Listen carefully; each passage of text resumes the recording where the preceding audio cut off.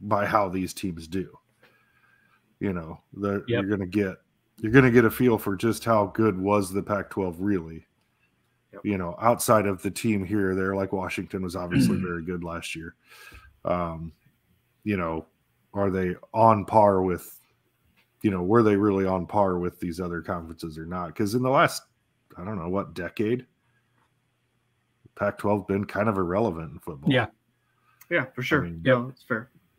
You know, uh, Derek, I want to ask you one more question, and then we'll we'll get to Aaron's uh, Kyle Lehman mortgage question of the pod that he needs to think of uh, before we get to it.